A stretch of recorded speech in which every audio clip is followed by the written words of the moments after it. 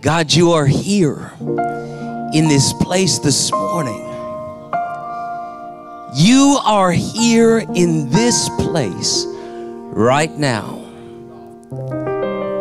We welcome you, King of glory. We welcome you, God of glory. We welcome you, Father of glory. We welcome you, Spirit of glory. Lord, we welcome you in all of your glory. Come and do what only you can do. We yield to you in this place this morning, lifting up our hearts and lifting up our hands. Lord, we surrender to who you are. Hmm. You are glorious. You are glorious. you are glorious.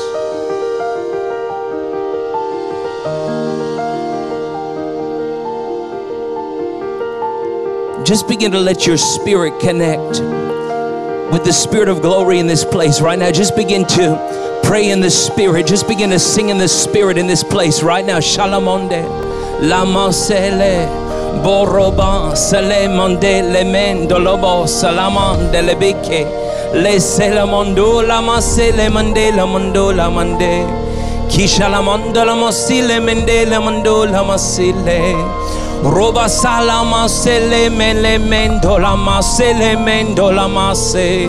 Salamondo la mandele mendele mondele mekele mendolo mondala mandele mesele medombote. Salamandele mendele mo salamande. Shalamasile tele mendele mandele mo romondolele. Sila masile re sila ne ne la na na na masole menele mando ramasa. Sala masile tele monto da mandele masi. Shala mandere mandere masila mandola masile mendele mandala. Ramasala masile. Sila mandala masila mandola masila mandola masila mandala masila. Sila masala masi. Come on, just begin to encourage yourself in the Lord right now.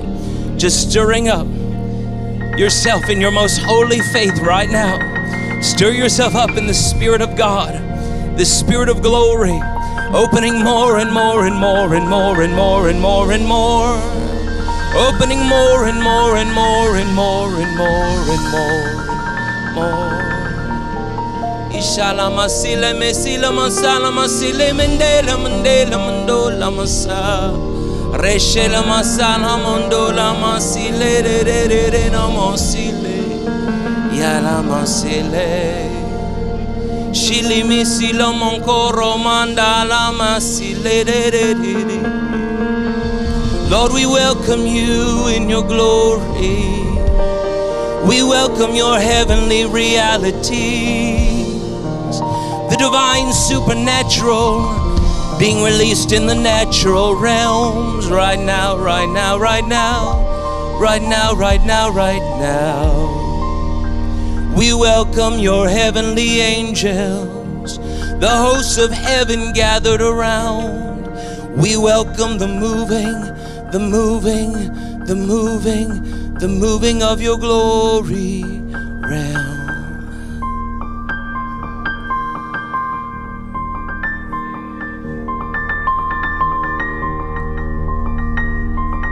Open hearts, connect with an open heaven.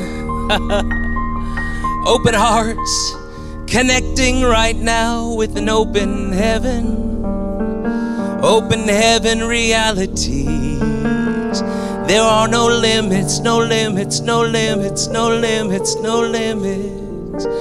All things are possible for them who believe. All things are possible with God. Nothing is too difficult. Do not be distracted. Do not be dismayed. Do not be discouraged, for there's a greater way. There's a greater way. It's in the glory, the glory, the glory, the glory, the glory, the glory, the glory. The door has been opened for you. The door is wide open for you. The portal is open. Just step on through, step on through, step on through, step on through. Don't hold back, but step on through. Don't hold back, just step on through and see what God will do, what God will do, what God will do, what God will do. There's miracles for you unlimited miracles for you, unlimited abundance, unlimited provision for spirit, soul, and body, unlimited miracles for you.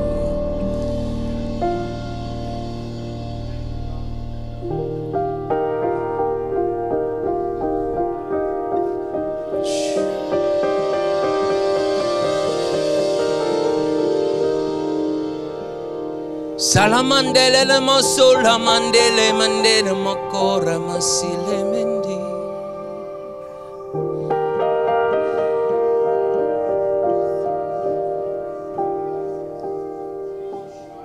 Shalamasure silamambre silamandele bobro silimi lamas la macabro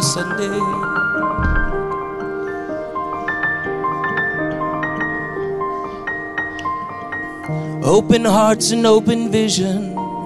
Open hearts and open vision. Open hearts and open vision. Open hearts and open vision. And open vision. An open vision. May God grant you an open vision in this place, in your spirit, in your heart. An open vision of the open heaven. Being enlarged to see, to know, to perceive, to recognize, to agree, to step in partnership with what God is doing, not a step ahead and not a step behind in divine alignment, wholly synchronized. Mm.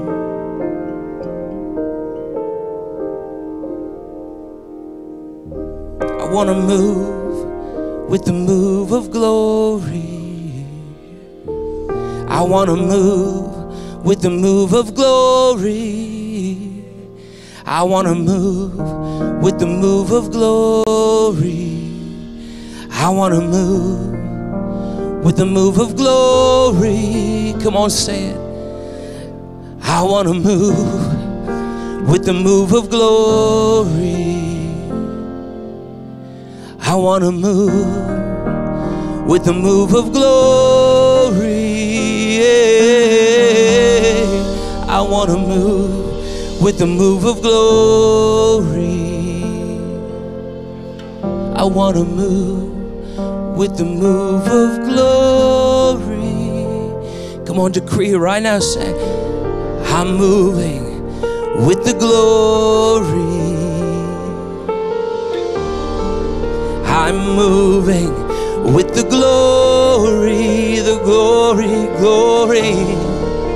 I'm moving with the glory. I'm moving with the glory as the glory moves in me.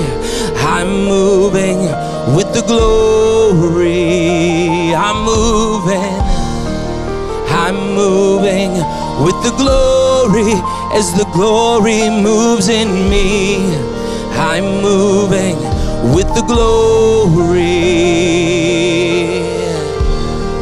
I'm moving with the glory as the glory moves in me. I'm moving with the glory.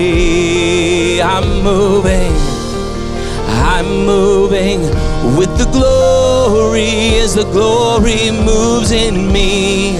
I'm moving with the glory.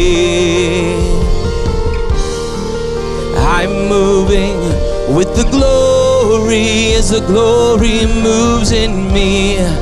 Like a wheel within a wheel, like a wheel within a wheel, like a wheel within a wheel. The glory moves in me like a wheel within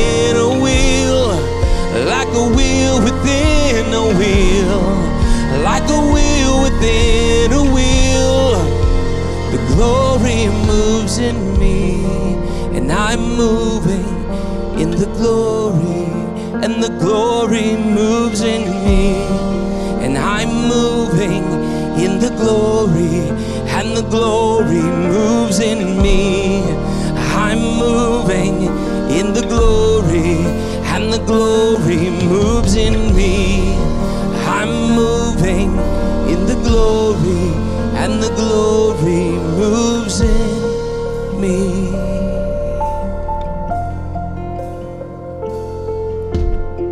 Cooperation, agreement, cooperation, agreement, agreement. Thy kingdom come, thy will be done on earth as it already is in the heavenly realm. That my realm right here, God, the territory, the domain, the place that you have given for me to occupy, let it be so fully immersed, encompassed about, filled with your glory. Heaven on earth, glory in the natural. God, I'm not waiting for your glory in another time and another place. But I recognize that you have said that you will fill this space with your glory. So I give you permission. I'm in agreement. Cooperation, partnership.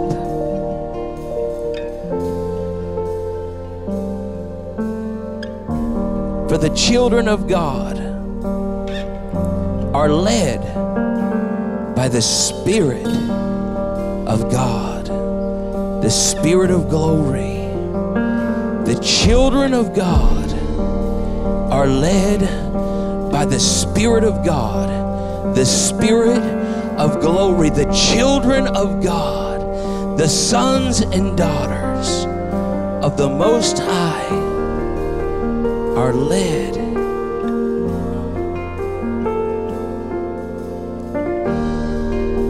By your glory, your glory, your glory, your glory, your glory, your glory.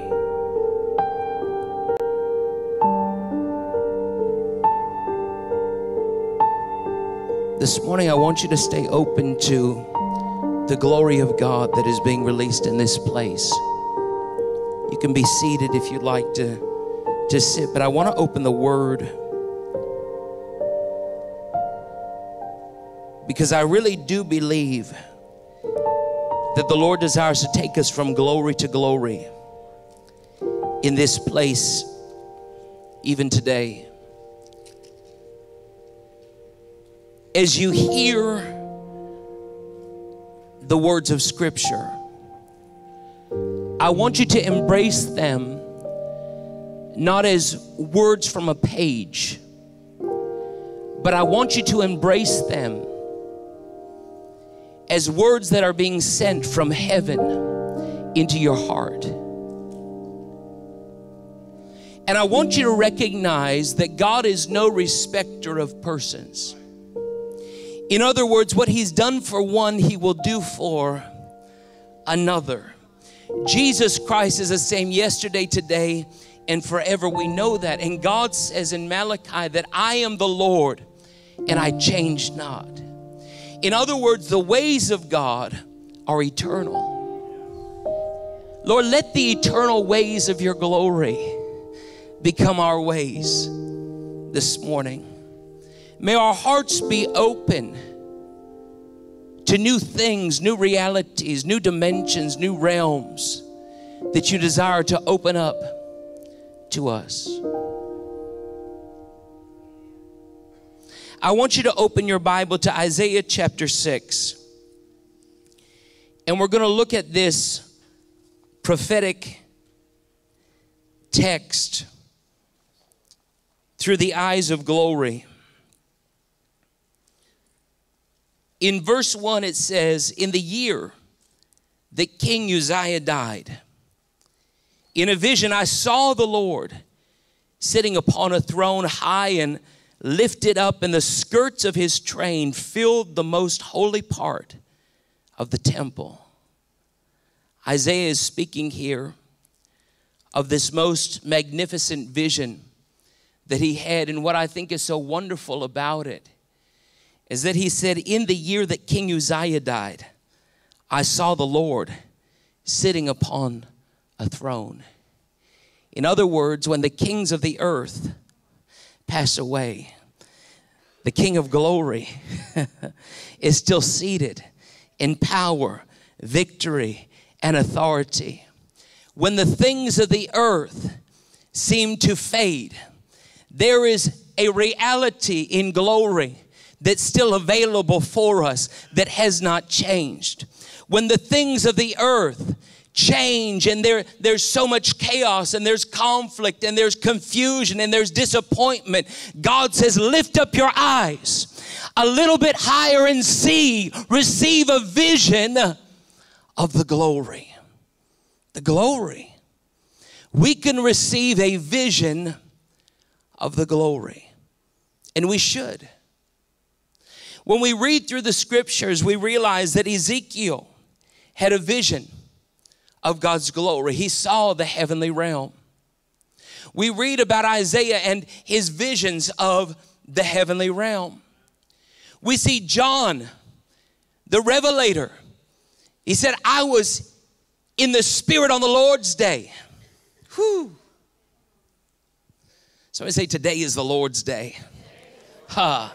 I give every day to the Lord so that He can have His way on His day in me.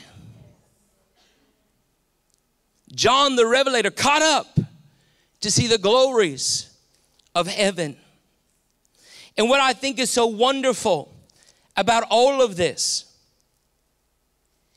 is that the Apostle Paul, in the authority of the apostolic anointing that he carried, he gave authorization for believers to open up their spirits to behold something that's greater, a vision that's deeper, something more powerful that goes beyond the limitations of the earth. So often we are led and directed by our feelings, led and directed by what we see, led and directed by what others have told us here on the earth. And yet God says, My children are those that are led by my spirit. I want to be led by the spirit. It's not good enough just to know about the glory. God's wanting us to experience His glory. A man with an experience uh, is a force to be reckoned with. A man with an argument is always at the mercy of a man with an experience.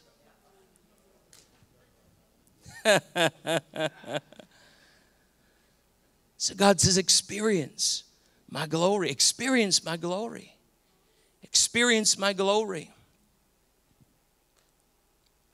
in the glory, God will speak to us. God will bring clarity. give direction. In the glory, God will show us things to come. Again, John the Revelator, Revelation chapter 4. He said, Behold, I saw a door standing open in the heavenly realm, and a voice just like a trumpet behind me saying, Come up here, and I will show you things to come. A few weeks ago, believers all over the world celebrated Pentecost weekend. We celebrated the, the commemoration of the outpouring of the Holy Spirit on the earth. The church being born in the book of Acts on the day of Pentecost. It's amazing. I was ministering on Thursday night, May 25th, just outside of Phoenix, Arizona, in Chandler. And the Spirit of glory came upon me, and there was an utterance of tongues, and then there was an interpretation of tongues that came. And the Lord spoke very, very clearly through a word of prophecy. And I want to read it to you this morning because I believe it's important for where we are going as the body of Christ and what God has prepared for us in His glory. The Lord said this There is great power being released in this hour. Oh, yes, this is the day and this is the time when I am pouring out of my spirit and I'm pouring out of my new wine. Oh, yes, for you will need this power for that which you will encounter, and you will need this joy to get you through those troubled times that are on the horizon. Do not say, Oh, but I'm worried and I'm not sure if I'll succeed, for surely by my spirit you will prosper and you will go forth and accomplish that which I have sent you to do. Do not be afraid of the forces before you, for that which is behind you is even greater than you know. Oh, yes, this is the hour when I have already assembled my angel armies round about you. I have set in preparation those angelic warriors that will begin to battle on your behalf. Do not say, Well, God, I feel unprepared. For surely my spirit within you has given you all that you need. Rely on my spirit, lean into me, and watch and see how I will begin to move you. Rest in my plans that I give to you, for I will cause you to navigate on roads that the enemy does not know about. And I will cause you to move through tunnels that cannot be seen with human eyes. And I will begin to open up portals in my spirit for you to travel from one place to another place. Oh, yes, there shall be a sense of security for those that are found in me. For even as you've heard about my secret place, Surely in the days ahead, you will begin to dwell in my secret places, for it shall be a secret from the enemy and from those that would try to come against you. Oh, I shall begin to hold you in my glory in a new and wonderful way. I shall begin to hold you in my glory in a new and wonderful way. I shall begin to hold you in my glory in a new and wonderful way. Allow me to fill you with my spirit. Allow me to pour my spirit upon you, within you, and around you, surrounding you with my Holy Spirit power, says the Lord. Hallelujah. Somebody give him a shout of praise.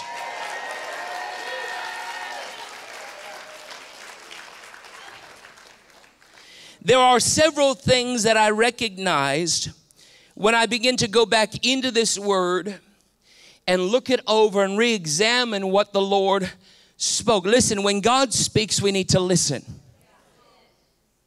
When He speaks once, I mean, listen, He's speaking. When God speaks twice, you better get ready. Because it's confirmation. When He speaks three times, what are you waiting for? Right? So we're hearing the Lord speak in this day, and we're hearing the voice of glory come. And He's speaking about a posture that we need to make as people of God. And the posture isn't, you better work hard, or you got to struggle more, or you, you better stockpile, or you, you better. The Word of God is we need to learn how to lean, how to yield, how to surrender, how to flow. Because if we'll learn how to flow with Him, He has everything taken care of for us. If we'll lean into Him, in Him we find all that we need.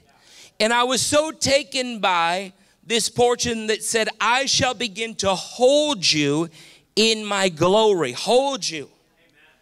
And I begin to visualize what that looks like God holding us in His glory. He said He'd hold us in His glory in a new and wonderful way. That means there's going to be a lot of wonders. It's wonderful, right? We're going to see a lot of wonders in the glory in the days ahead. Um, when we're talking about glory, I think sometimes there can be misconception about what it is, what it looks like.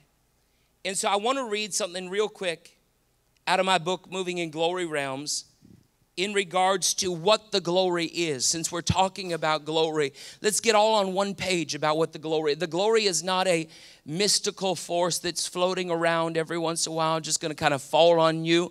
Um, although there is a moving in the glory. Uh, the glory is not something to be scared of to be fearful of. As believers, we must embrace the glory of God. Some things in the Spirit cannot be grasped by faith alone. Do you know that?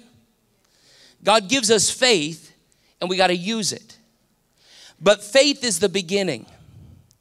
And faith is what connects us to the anointing or the power of God. But even the anointing comes to destroy yokes. And there are things that the anointing destroys and things that the anointing does. And the anointing really speaks of the gifts of the Holy Spirit and the operation of the, the supernatural operation of the Holy Spirit within us and moving through us. But the glory is different.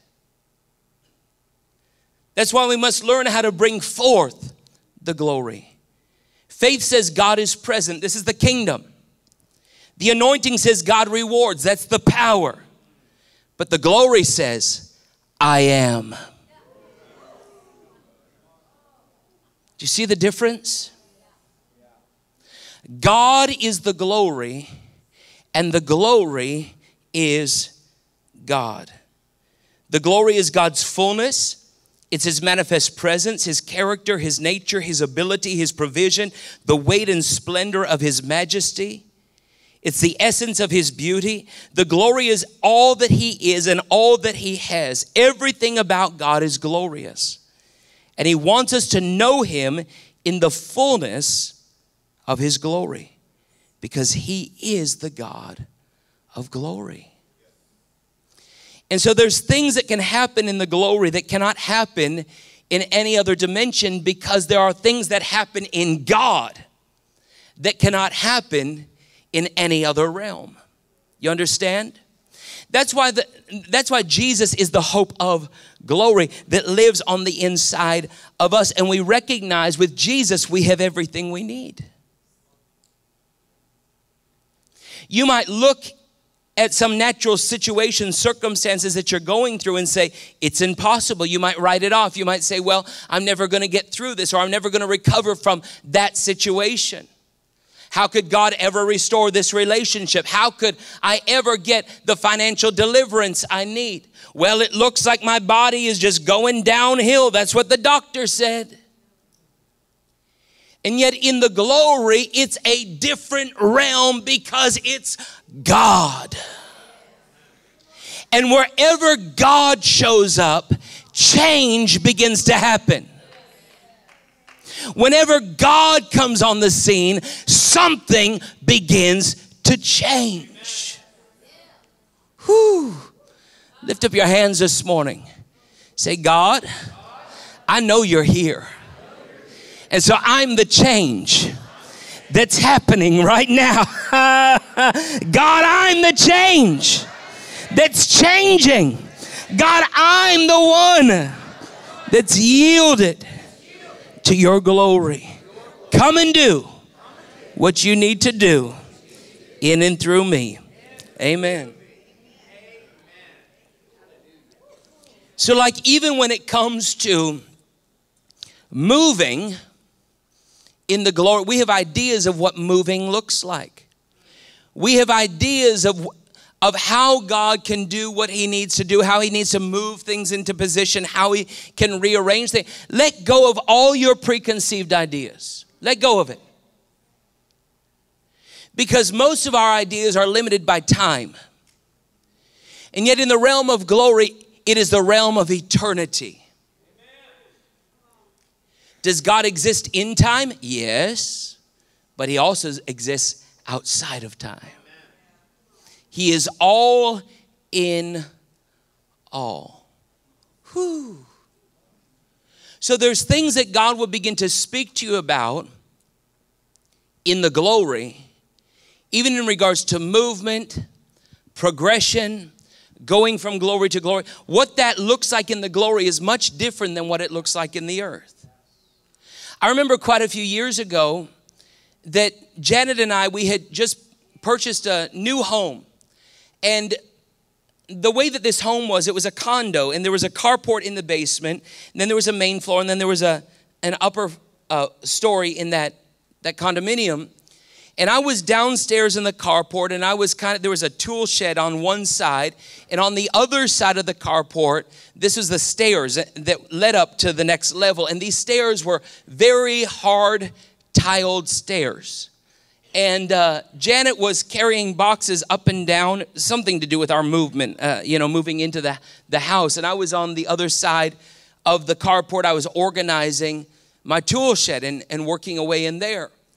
All at once, I heard a loud scream. And when I looked, Janet came tumbling down these stairs and landed at the bottom of these stairs in our carport. Now, you might think, okay, well, you know, just pray for her and she'll have to just get better. Well, in that moment, the glory began to work on the inside of me and literally gave me something to speak. And without even thinking about it, I looked across the carport and I said, I take you back 15 minutes in the name of Jesus.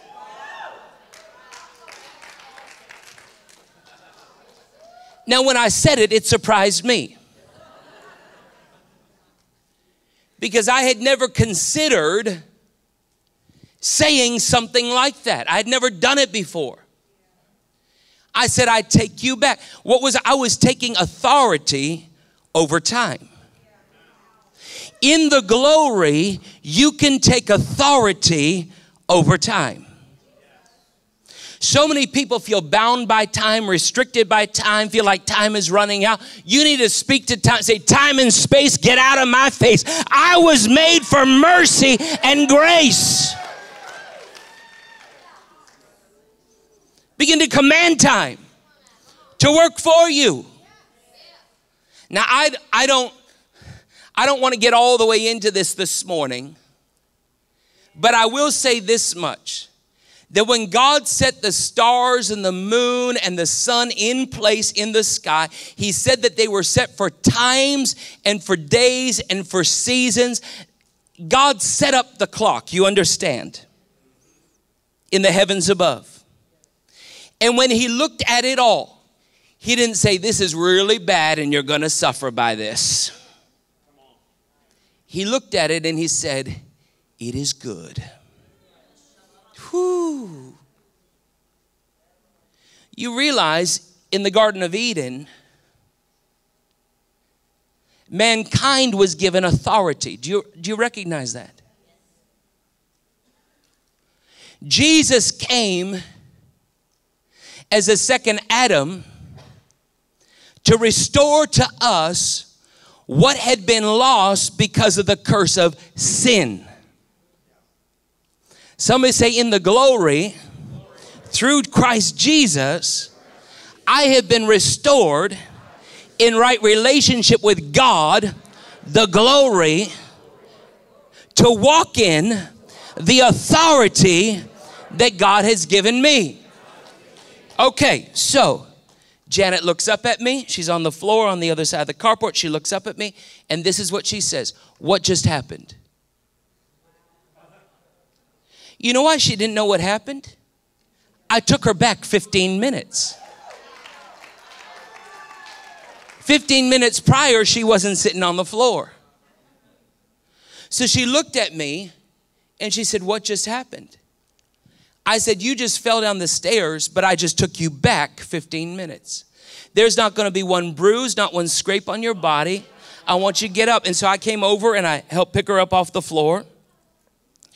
And in the past, before we understood the power of our words, I used to call Janet Janny Banani because she would bruise so easily like a banana. Like I, if I would just hug her too hard, she'd have bruises on her body from me just hugging her. So she was very susceptible to bruising. Anyway, I share that to say, when she got up off the floor, not only was there no pain in her body, there was no scratch in her body, there was no bruising on her body, there were no effects of the fall.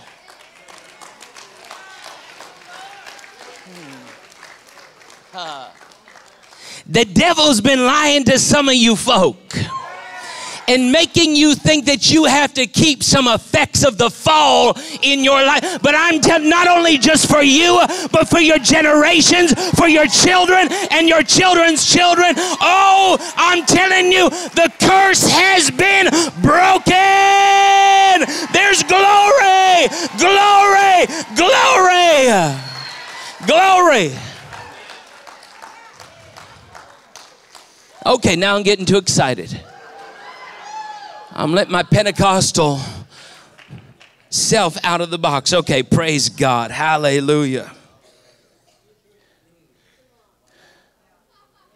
So I say, there's glory. There's glory. There's glory. Years ago, I recorded a, a song that the Lord had given me. Um, no limitations in the spirit, no limitations in the glory realm. I think some of you have probably heard that song. Well, I recorded that song, No Limits Remix, with Becca Shea. And Becca's here this morning in the second row. Becca, stand up real quick so everyone can wave at you. She's doing a live. Okay. Well, there we love the Shockley family. They come from Nashville. Uh, we've known Joy since she was in her mommy's tummy. So it's, it's a great blessing to have y'all here. I sure love you. Grace and Hope is in the, the other room back there. And Shock is a tremendously anointed producer in Nashville. And he works on a lot of different uh, projects, albums. They collaborate so well together, Shock and Becca. Um, but he's also done some stuff with us, uh, produced my Christmas album almost 10 years ago. Anyway, okay, that's a whole other story. Uh, but it's a great blessing to have you guys here. We sure love you. Um, I want to go back in here to Isaiah chapter 6. Because there's so many possibilities in the glory. There's so many things that God wants to give us in his glory. And I think in many ways, when we read Isaiah's account in Isaiah 6, some people would say, well, this is, you know, this was Isaiah's encounter. And you can't preach this like it's available for other people. But I beg to, I beg to differ.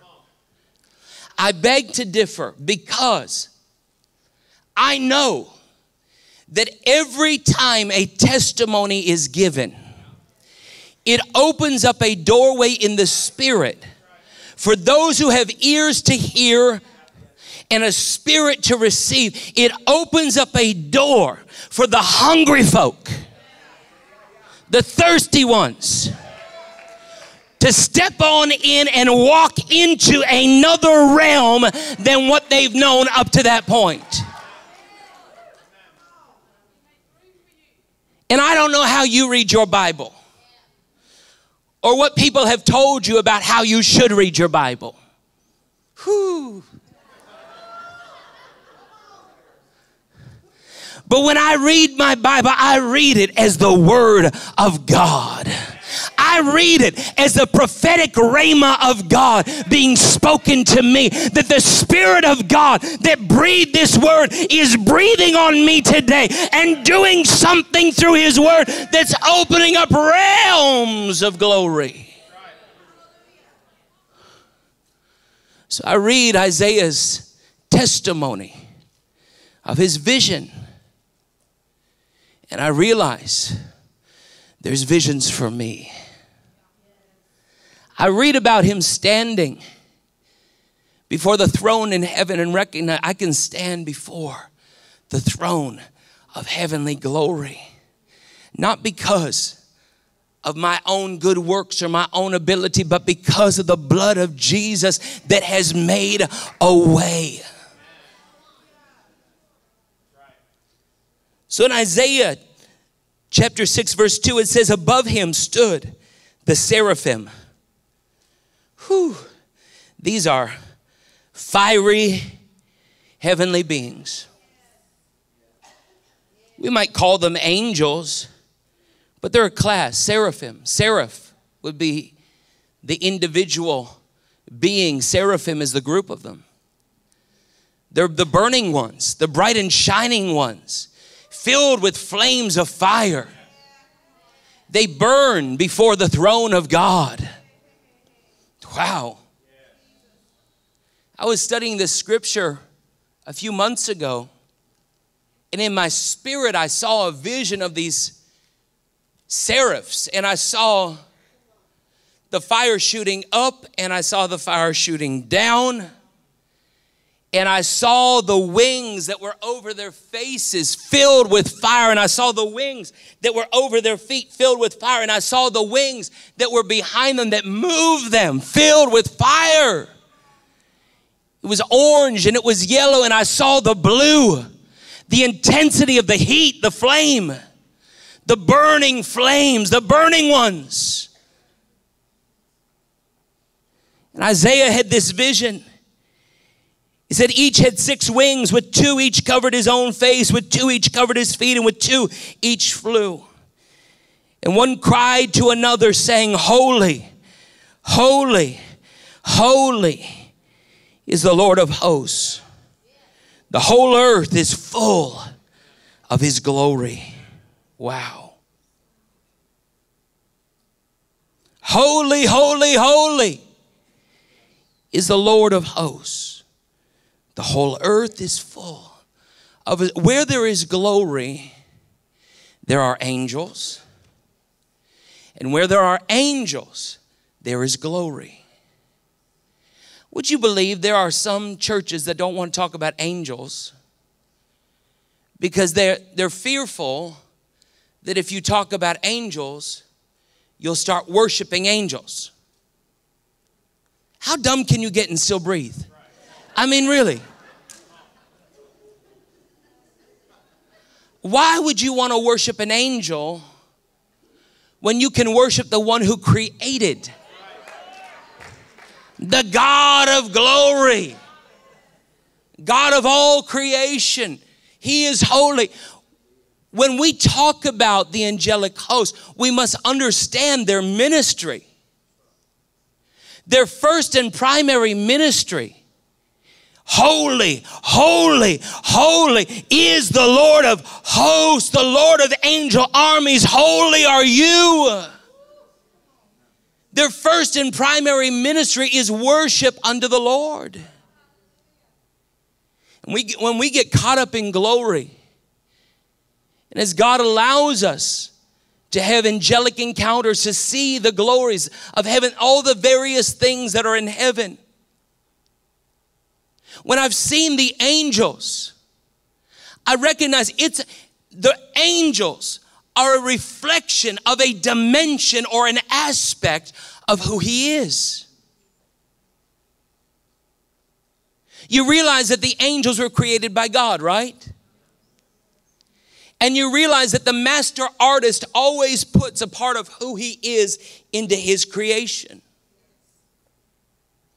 If we ignore these supernatural realities, we ignore much of what God is trying to show us in his glory.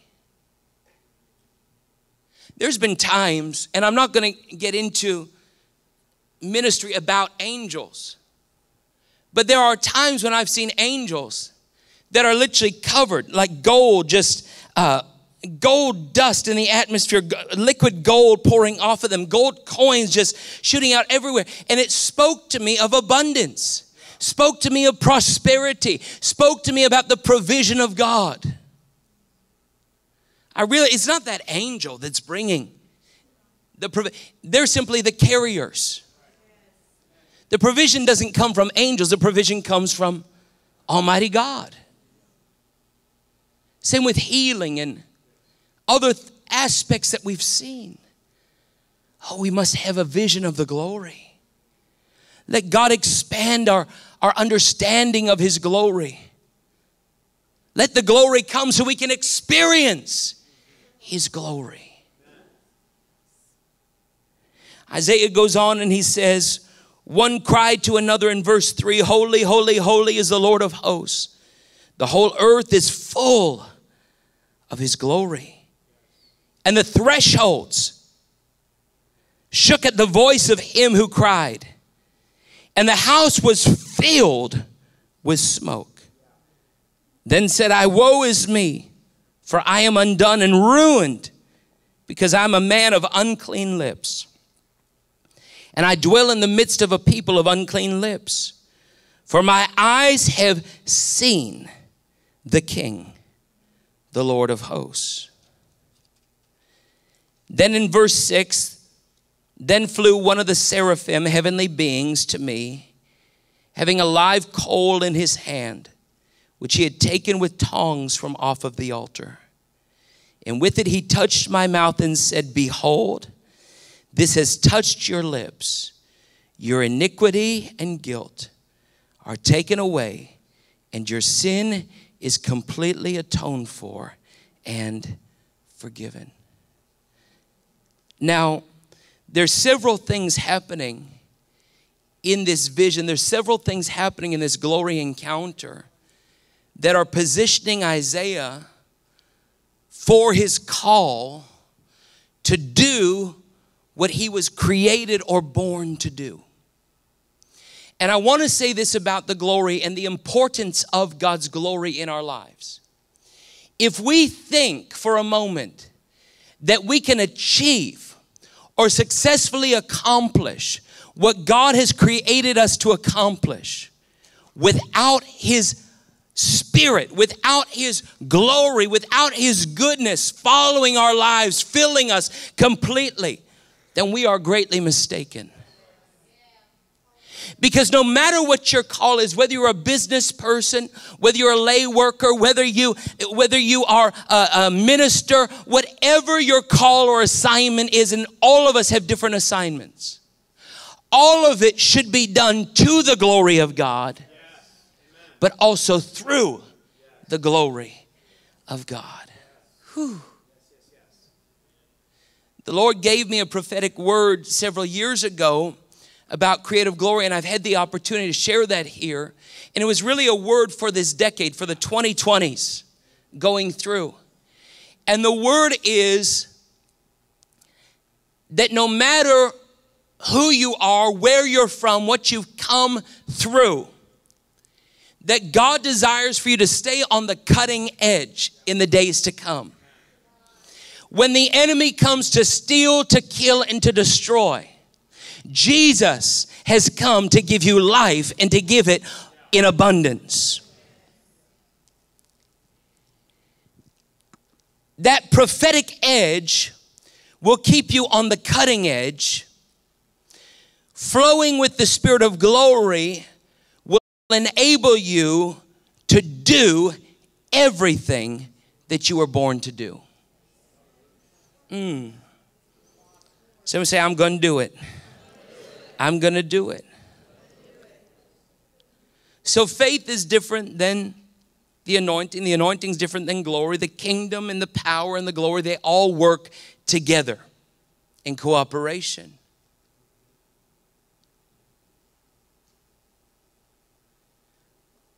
But what's so unique about the glory of God is that in many ways it is, and we see it through Isaiah's vision, the glory is a multi-sensory realm. I want you to write that down. The glory is a multi-sensory realm. When Isaiah gets caught up into this vision, the first thing he says is, I saw the Lord. Whew. Somebody say, open eyes. Open eyes. Open eyes in the glory. Open eyes in the glory. Now, I already mentioned it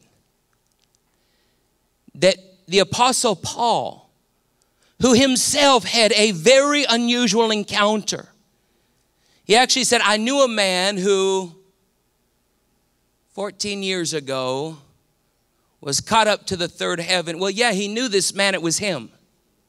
You know, he was talking about himself, he just didn't want to brag. Paul was familiar with third heaven encounters. John was familiar, Ezekiel familiar, Isaiah familiar. And the Apostle Paul now authorizes believers to see beyond the natural realm into the heavenly dimensions. In Ephesians chapter 19, verse 17, he says, For I always pray to God, the, the God of our Lord Jesus Christ, the Father of glory, that he may grant you a spirit of wisdom and revelation of insight. Whew Underline that right there. And I'm reading out the Amplified Classic edition if you're wondering what Bible I'm using this morning. Insight into mysteries and secrets in the deep and intimate knowledge of Him. This is His prayer for believers. Somebody say, I'm a believer. And I want to have everything that a believer is authorized to have. By having the eyes of your heart flooded with light. Whoo, can you see that right there?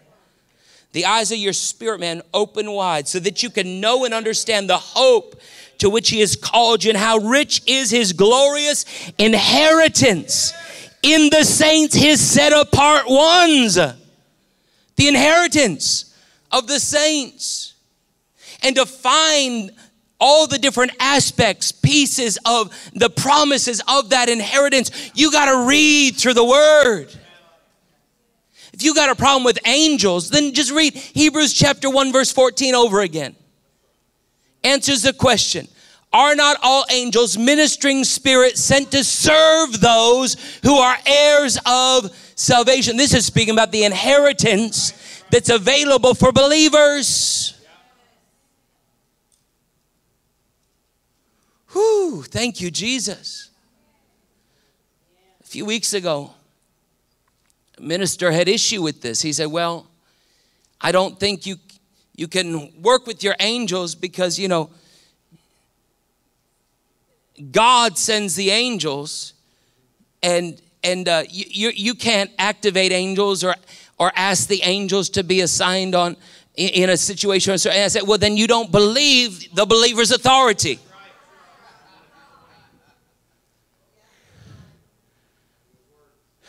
And you know what they say? They always say, well, where is that? There's nowhere in the Bible that says you can activate angels. Well, then you haven't read your Bible. You're just repeating what somebody else told you. Because the devil said a whole bunch of lies about who you are and what you can do and how far you can go with God and how much of God you can receive. Don't believe the lies of the enemy. Read the Bible, read the Word, read it all from beginning to end. David was activating angels.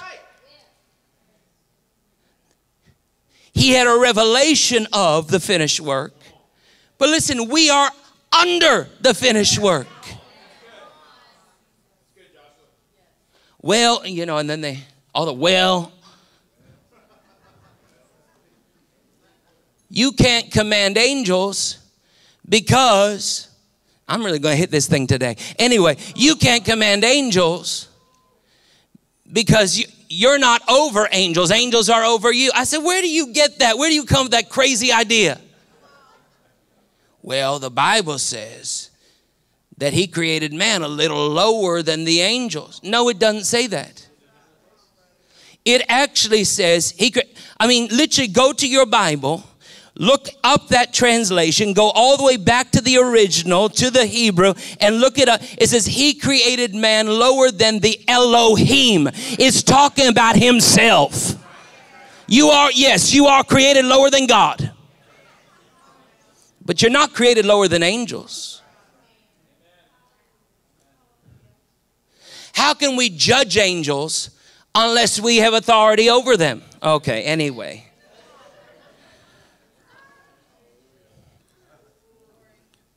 Verse 19 of Ephesians 19. And so that you can know and understand what is the immeasurable and unlimited and surpassing greatness of his power in and for us who believe as demonstrated in the working of his mighty strength, which he exerted in Christ when he raised him from the dead and seated him at his own right hand in the heavenly places, far above all rule and authority and power and dominion, and every name that is named above every title that can be conferred, not only in this age and in this world, but also in the age and the world which are to come, speaking about your eyes being open to see. You've been seated in heavenly places with Christ Jesus. Begin to see it. Begin to see it. Just lift up your hands. Say, Lord, I ask that the eyes of my heart will be more fine tuned to see with greater clarity than ever before I want, want to see beyond the temporal, earthly things. And I desire to see in the realm of your glory. Thank you, Jesus. In the realm of your glory. In the realm of your glory. In the realm of your glory. Now, what's so wonderful about the glory realm is that there are moments, listen, our faith taps in to grab hold of the Word of God. When our faith taps in, the power of God begins flowing. That's, the, that's a connection point where the, the anointing, the power begins to flow. As the power of the Spirit begins to flow, and we are anointed then to operate and flow in all the gifts of the Spirit, we utilize what God, we steward what the Holy Spirit is doing in and through us to magnify God. When, when God anoints you, when, when you're given the ability to operate in spiritual gifts, this is not so that you can bring attention to yourself. This is so that you can bring greater attention to Jesus. That the world around you wakes up to the living reality of a Savior who bled and died and rose again to save them, to deliver them, to heal them, to restore them.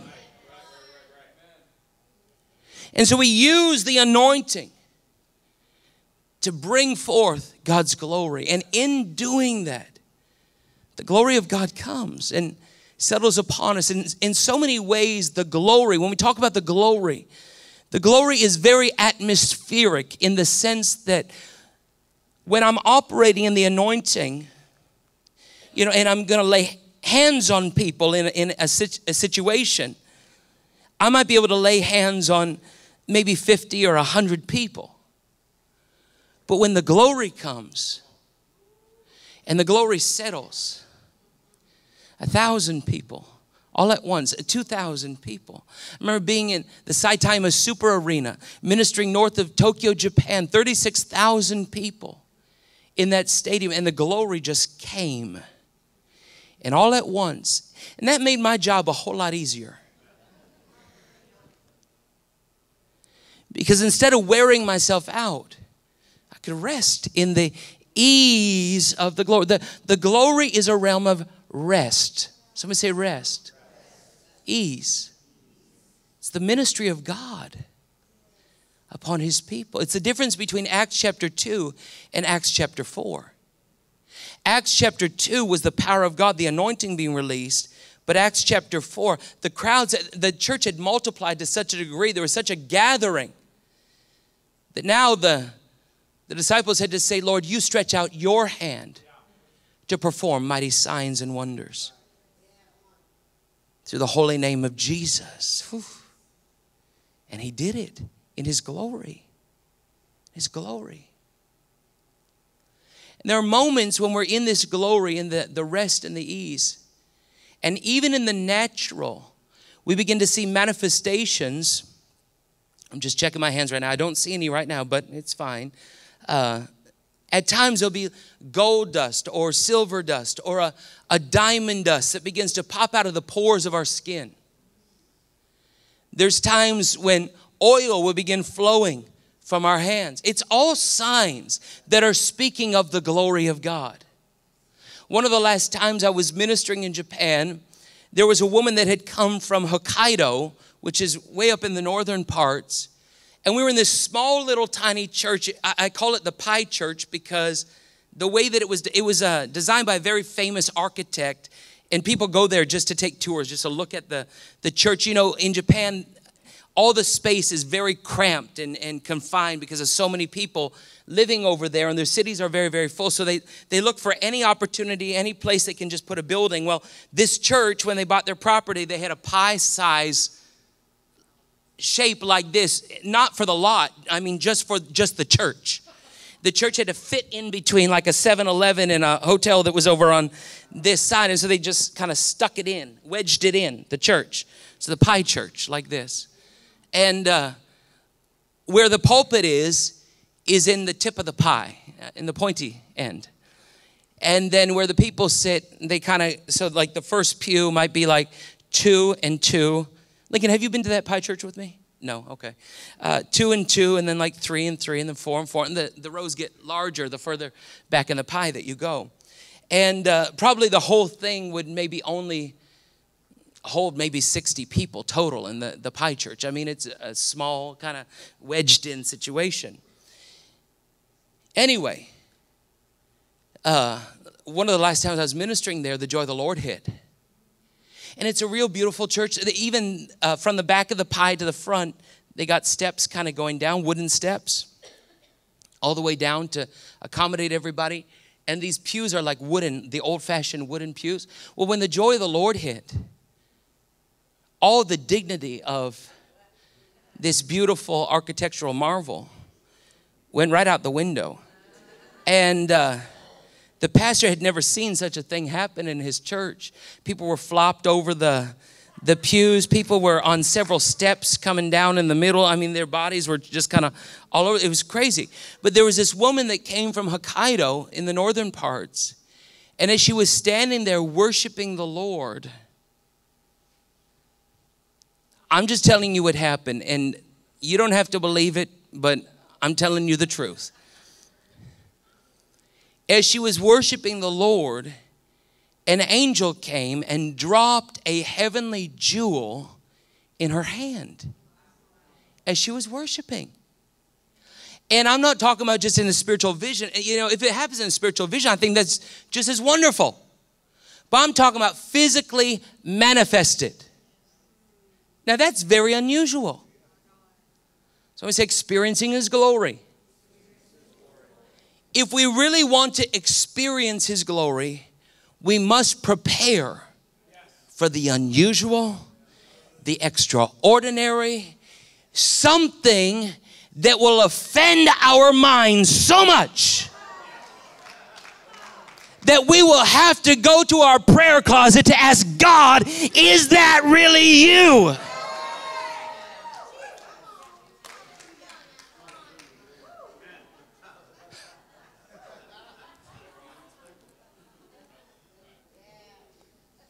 I brought with me today the jewel because she gave it to me. Look at in this little Japanese pouch. Okay. Oh, you can't see it there. The Japanese design on this side. This is so strange. Can you see that? Okay. And then you say, and then you say, well, why would God do that? Why would He do it? Ooh, I like Pastor Jason's response. He said, Why not? Why not? I remember one of the first times we were hosting a Signs and Wonders camp meeting at our home church in Canada, like 20 years ago. And there was a woman in that meeting. I was leading worship on the platform. Janet was probably sitting in the, the front seat somewhere. But in the midst of worship, this woman who had come from the Chicago area, her hands lifted in worship, same kind of thing happened. As she's worshiping, she feels a diamond drop. Something that she didn't know was a diamond initially, but she felt something drop in her hand, and it was a diamond. And I think there ended up being several that were released during that time. But she took this diamond, she was so thrilled that the Lord had given her this heavenly stone. And uh, she took it and she was telling people about it. Well, in our church at that time, there was a man, his name was Gord Watson, if you want to look him up and ask him about it. He worked for uh, a geological survey type company. He, I mean, he was a gemologist. He went around the world, Australia, all different places, to look for gems. Well, he looked at it and he said, There's no way that that is a diamond because diamonds cut glass. And he had doubt and unbelief in his heart that God could do such a thing, especially the fact that it was already cut, like ready to be set into a ring or some sort of jewelry fastening. And so he took it and he told her, he said, This can't be a diamond because diamonds cut glass. And he took it right on the the, the window of the sanctuary doors, and from the top to the bottom, he cut that glass. And Pastor Carl made him pay for it. Yep.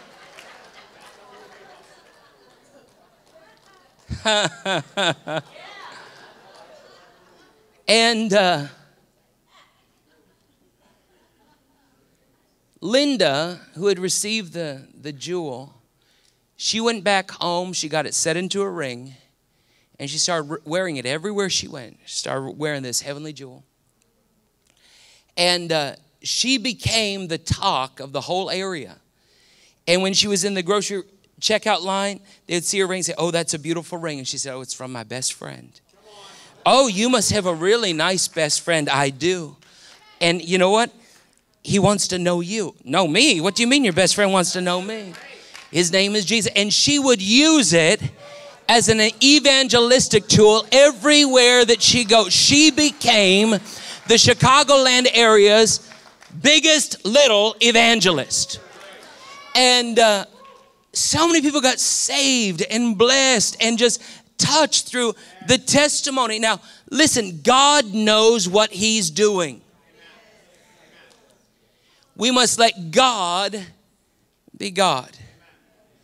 Now, there were some people that got real excited about hearing some of these things, and they thought, oh, well, maybe we should go out to the flea market and buy a bunch of gemstones and just throw them all over the place and get people excited about God. You don't need to help God. You don't need to help God. But let God be God. Let the glory come and let the glory do what God desires to do. God wants us to experience His glory. And when it's the glory, we're going to get God's results. We're going to have good fruit. Somebody say, God fruit. Oh, yes, we're going to have God fruit. So in the glory, we begin to see.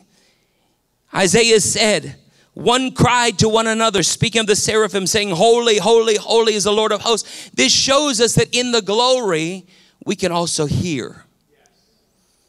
Whew, Lord, open up our ears to hear your glory.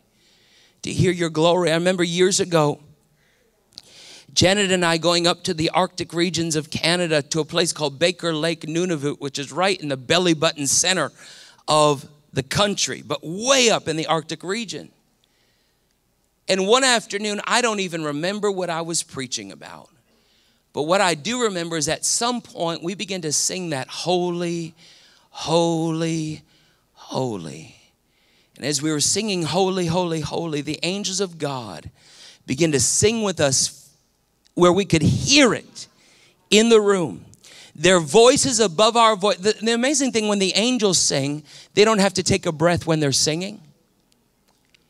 It's like when David said, I will continually, your praise will continually be. I mean, the angels literally demonstrate that. The continual praise, just the constant sound of the holy, holy, holy. I mean, just in and out. It's amazing. And again, that afternoon, in that glory, people saved, healed, delivered, the glory. About a year and a half ago, my grandma called us. She was asking the Lord to take her to heaven, like for good. She was ready to go. She had accomplished her life assignment, and she was she was just ready. She was a faithful lady, and uh, my grandma called us, and she said, "I'm already hearing the choirs in heaven." She said, I, I wake up in the middle of the night and I can hear the organ playing. I said, There's an organ in heaven? She said, Yes, really, there's an organ. She said, I can hear the organ playing, I can hear the voices singing. She said, In the morning when I wake up, it's the same song going on. And in the middle of the afternoon, it's the same song. And at night, it's the same song. And she had this where she could hear the heavenly choir, she could hear the heavenly orchestra. preparing the way, ushering her into the life beyond this one. You know, believer never dies. We just go from living in this realm to a greater realm of living in the next. From glory to glory. It's amazing. It's beautiful. How precious in the sight of the Lord. Oh. is the passing of the saints of God. The most beautiful thing. Anyway, my grandma would sing this song to me. I'd never heard it before, but she'd sing it to me. The song she's hearing from heaven. We can hear in the glory. Isaiah said the foundations of the thresholds shook. You know what that speaks to me about? It speaks that we can feel the glory. He could feel the earthquake, he could feel the shaking in the heavenlies. Yeah. There are times when the glory comes so strong, we begin to shake. And you say, God, what are you doing? He's shaking everything that can be shaken so that the things that can't be shaken will remain. The eternal things will remain. And oftentimes there's prophetic demonstration in the glory. And we have to have prophetic lenses to see, discern, detect what God is doing in those moments. There's times holy laughter comes and we roll. I mean, we roll on the floor. We stumble about like drunken folk. We're not drunk as you suppose. We're drunk on the new wine of the Holy Spirit, filled with His joy, His delight. There's times the glory comes, we begin to weep. We feel the glory. We deeply feel the glory. It moves us to tears. Yesterday, I was getting my hair cut over in Trussville. And the whole time, my hairdresser said, I just feel something so special. And tears started to come. She said, I'm so sorry. I'm beginning to cry. And I said, No, it's okay. It's okay. Just let the tears come. You can carry the glory to such a degree that people feel God. People feel the reality of His love, His kindness, His compassion, His goodness, His mercy, His grace, His healing power. Isaiah said the house was filled with smoke. Mm, just breathe in. I believe that Isaiah could smell the glory. He could smell the smoke of incense He could smell the fragrance of it. Isaiah, or not Isaiah, but uh, Exodus chapter 30, after it speaks about the anointing oil, it speaks about the incense that was used in the tabernacle. And that incense smells like frankincense. There are times where in the glory and different aromas begin to come. We begin to smell the glory. The, the frankincense is the incense of the tabernacle. We, we begin to smell. Yesterday, my mother wrote me, she said, What does baby powder mean when, when we're smelling it spiritually? She said, Your dad was prophesying last weekend, and I started smelling baby powder. I wrote her back, I said, A new baby is coming.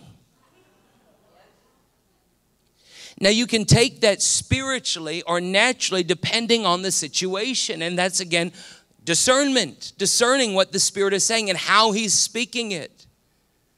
I remember years ago, like 20 years ago, we were in Rhode Island. And uh, there was a couple that had asked us for prayer because they were told they couldn't have children.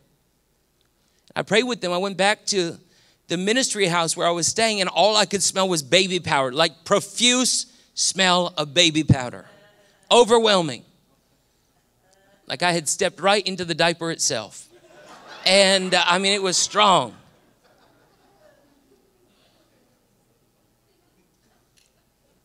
But the Lord uses a confirmation that the baby was coming. For them, it was a natural baby. They had been told they couldn't conceive and they, she couldn't carry. But she conceived and she carried. And she gave birth to that beautiful child. Hallelujah. Whoo. Lift up your hands right now.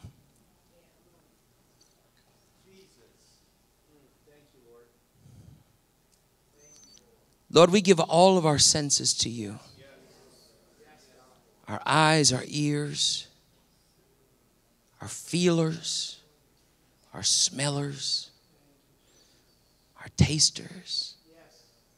God, all of our senses submitted to your glory. We desire to experience your glory, God, not just here in a corporate way, but each and every day as we walk through our lives. God, we desire to experience your glory, to know you in your glory, that we might live in your glory, flow in your glory, operate in your glory, and in all that we do, bring you glory. Somebody say, I receive it. I receive it. Hmm. Isaiah said, having a live coal in his hand, he touched my mouth. He tasted the glory. Let God put his glory in your mouth. And you say, well, what does that taste like? It tastes like kindness and love and peace and comfort and healing. Revelation tastes like honey. The Word of God, we sang about it this morning, didn't we? Psalm 34, verse 8. Oh, taste and see. Whew, two senses. That the Lord our God is good, blessed, happy, fortunate. To be envied is a man who trusts and takes refuge in him. Psalm 119, verse 103. Oh, taste and see. Oh, that's the wrong one. No, that's not what it. I, I copied and pasted the wrong scripture there. Uh, Psalm 119, 103, it's about your words are like honey. Your words are like honey. Ezekiel 3, verse 3. The Spirit spoke to Ezekiel, said, Son of man, eat this scroll that I give you and fill your stomach with it. Then I ate it, and it was as sweet as honey in my mouth. Proverbs 16, verse 24 pleasant words are as a honeycomb sweet to the mind and healing to the body. There are times when we're in the glory, we begin to taste the sweetness of the Lord. It's a reminder that He's working His revelation in us, like Ezekiel. Lord, I want to eat the scroll. I want to eat your scrolls. I want to eat your, digest your revelation so that it gets all the way deep inside of me, every part of it, that it feeds me, nourishes my body, that I would carry your words and be able to give them and deliver them wherever I go. Word is like honey. Isaiah 6, verse 8, and I'm going to close here. He said, Also, I heard the voice of the Lord saying, Whom shall I send? And who will go for us? Then said I, Here am I, send me. I think what we must recognize with all of this glory, the signs, the wonders, the miracles, the revelation, the heavenly transport, his prophetic words of inspiration, everything that God releases in his glory, it comes for a purpose.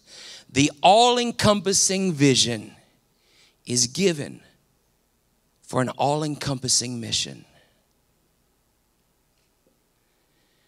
the all encompassing vision of His glory is given that we would successfully carry out the all encompassing mission that He has called us to walk out.